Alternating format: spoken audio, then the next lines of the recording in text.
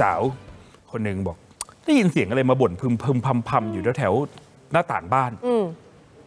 ออกไปแง้มหน้าต่างดูหัวผู้ชายเลยมาแอบอยู่ข้างบ้านเออเออ เอาคุณผู้ชมเธอก็ตกใจสิ ก็เลยเป็นเรื่องราวหลังจากนั้น อันนี้บ้านพักของเธออยู่ที่ตำบลหมากแข้งอำเภอเมืองอุดรธานีคุณผู้ชม ผู้เสียหายชื่อนางฟาริดาอายุ 44 ปี ตอนเจ้าหน้าที่ตำรวจไปถึงหน้าตายังแบบตกใจอยู่เลย บอกถูกในรุดสติไม่ดีบุกเข้ามาที่บ้านกลางดึก กลางดึกขนาดไหนตีสองครึ่งเมื่อ 10 กันยายนที่ผ่านมา ผู้เสียหายบอกตีสองครึ่งกำลังนั่งกินข้าวอยู่ในบ้านอืม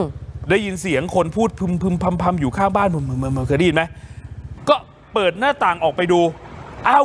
ในรุดนั่งยองแอบอยู่ ด้วยความตกใจรีบปิดหน้าต่างปิดไฟวิ่งหนีเข้าไปในคืนล็อกประตูบ้านทุกบานเลย แล้วก็โทรแจ้งตำรวจ ระหว่างนั้น ไม่แน่ใจก็ถือท่อนไม้ เปิดประตูออกไปดูว่าอยู่ไหมหรือไปแล้ว ปรากฏในรุดไปแล้ว จนเมื่อวานนี้มีชาวบ้านไปเจอในรุดเดินเตร็ดเตร่อยู่ในหมู่บ้าน ก็เลยโทรรีบบอกตำรวจเพราะวันนั้นตำรวจมาที่มาดูบ้านไม่เจอตัวบอก คุณตำรวจเจอตัวแล้วมาจับหน่อยค่ะก็นี่แหละค่ะอ่ากี่โมงพิธีการเป็นยังไงสองเคิงเมื่อคืนนี่ค่ะอ่าเขายังใช้เขาไปข้างบ้านอ่าจังหวะหนูน่ะกินเขาวหนูเลยเปิดหน้าต่างออกมาได้ยินเสียงคน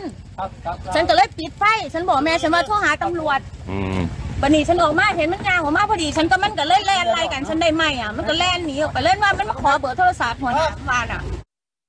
ถามชาวบ้านนะ ชาวบ้านพูดเป็นเสียงเดียวกันเลย ในรุดเนี่ยสติไม่ดี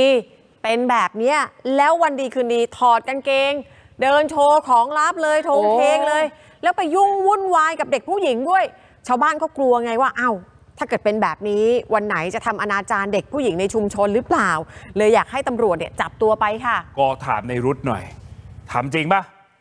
บอกเออเสพยาบ้าไปเม็ดหนึ่งสาเหตุที่บุกเข้าไปที่บ้านของนางฟาริดาเนี่ยจะแค่ขอเบอร์โทรศัพท์พี่สะพ้ยชื่อดาว พี่สะพ้ยชื่อดาวทำงานอยู่ชลบุรี ตัวเองเนี่ยรู้จักกับเจ้าของบ้านตำรวจก็เลยงงๆอยู่นะอะดูสภาพเนี่ยตอนคุย แจ้งข้อหาเสพสุราหรือของเมาอย่างอื่น จนเป็นเหตุให้เมาครองสติไม่อยู่และประพฤติตนวุ่นวายนะครับ